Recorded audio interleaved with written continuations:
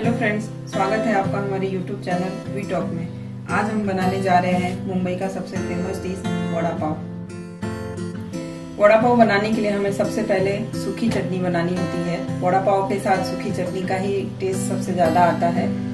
तो इसलिए हम पहले सूखी चटनी बनाएँगे। सूखी चटनी बनाने के लिए हमें ये इंग्रेडिएंट्स की ज़रूरत होगी। जैसे हमने लिया है इसमें एक चम्मच धनिया, एक चम्मच जीरा और एक चम्मच तेल। फिर हमने सिंगाना लिया हुआ है थोड़े से। आप अपने जितना आपको बनाना है उसके हिसाब से ले लीजिए। आठ दस लहसुन की कलियाँ हैं, थोड़ी सी लाल मिर्च है, सूखी वाली, और थोड़ा सा ये सूखा नारियल है। तो भाई इसे हम बनाते हैं। पहले एक पैन हम गैस पे रखेंगे, उसमें दो चम्मच तेल डालेंगे। ज़्यादा तेल नहीं डालना है इसमें। बाद इसमें हम लहसुन की कलियाँ डालेंगे। उसके बाद इसमें सूखी लाल मिर्च डालेंगे। फिर इसमें हम डालेंगे और इसको भूनेंगे। अब इसमें हम डालेंगे हमारे कुछ मसाले। और इनको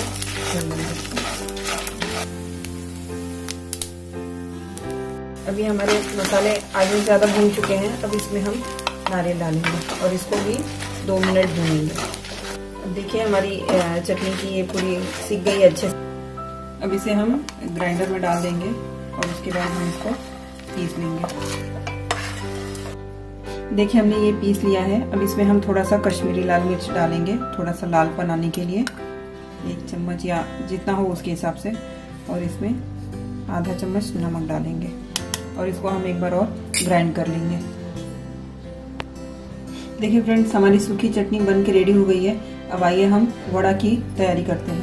तो हमने ये पैन गरम कर लिया है, इसमें हम ऑयल डालेंगे। उसके बाद इसमें हम राई और जीरा का तड़का लगाएँगे। आधा आधा चम्मच मैंने राई और जीरा लिया है। अब इसमें हम थोड़े से करी मिर्च डालेंगे। तो हमने थोड़े से मटर लिए हैं, ये डालेंगे। टेस्ट के लिए अच्छा होता है, इसलिए हम डालते हैं। अब इसमें हम ये मसाले डालेंगे। हमने ये धनिया, अदरक, लहसुन और मिर्ची का पेस्ट बना लिया है। ये इसमें डालेंगे। फिर इसमें हम थोड़े से हल्दी डालेंगे, आधा चम्मच।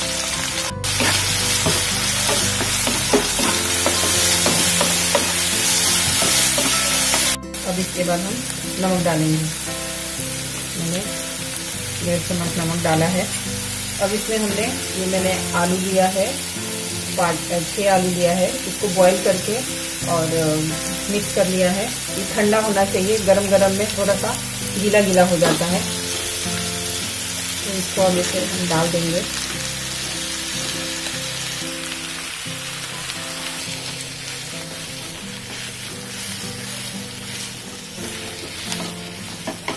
देखिए, हमारे आलू हमने सेक लिए हैं अच्छे से, उसमें भून लिए हैं। अब इसमें हम लास्ट में एक नींबू का रस डालेंगे। और इसको मिक्स कर लेंगे। ये हमारे मसाले रेडी हो गए हैं। अब हमने गैस बंद कर दिया है। अब इसको हमें थोड़ा ठंडा होने के लिए रखना है। जब तक हमारा वड़ा का मसाला ठंडा हो रहा है, तब तक हम बेसन का घोल तैयार कर लेते हैं, जिसे हमें फ्राई करना है। तो इसमें हम, मैंने डेढ़ कप इसमें बेसन लिया हुआ है और दो चम्मच में इसमें राइस का आटा डालूँगी। राइस इससे थोड़ा सा क्रंचीनेस आता है। इसमें हम हाफ़ टी स्पून नमक डालेंगे। थोड़ा सा हल्दी डालेंगे। और ये मैंने कश्मीरी लाल मिर्च ले ली है, ये थोड़ा सा डालेंगे। खाने वाला सोडा ले लेंगे। और बस अब इस बैटर को हम रेडी कर लेते हैं। अब इसमें हम थोड़ा थोड़ा पानी डालेंगे और इसको मिक्स करते जाएँगे। ज़्यादा पतला इसका बैटर नहीं बनाना है। अब देखिए, ये हमारा बैटर रेडी हो गया है। इस तरह का बनाना है आपको। इसे ज़्यादा पतला नहीं बनाना है। ये हमारे मसाले ठंडे हो गए हैं। अब आइए इसके हम ऐसे छोटे छोटे लोई बना लेते हैं। इस तरह से बना लीजिए। ये हमने वड़ा के गोले सारे रेडी कर लिए हैं। अब आइए इसको हम डीप फ्राई करते हैं। ये हमने पैन में तेल रख दिया है गर्म होने के लिए। और इसको थोड़ी देर गर्म होने देते हैं। इस तरह से हमें इसको इसमें डालना है और उसके बाद इसको ऐसे कोटिंग करनी है। फिर चम्मच की सहायता से इसको हमें तेल में डाल देना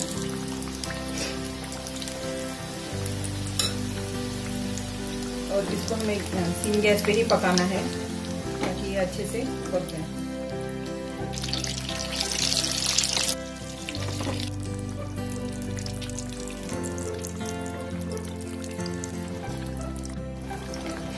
देखिए, हमारे वड़े पूरे तैयार हो गए हैं। अब आइए इसको हम निकाल लेते हैं।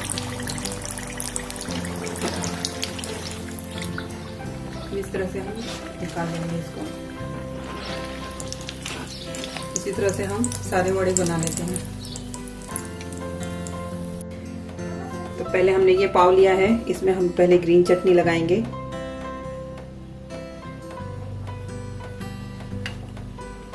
हमने ग्रीन चटनी पहले से बना के रखी हुई थी, और एक साइड हम मीठी चटनी लगाएँगे। इस तरह से, और फिर इसमें हम वड़ा रखेंगे।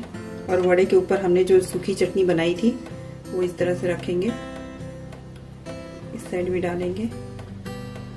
और फिर इसको हम ऐसे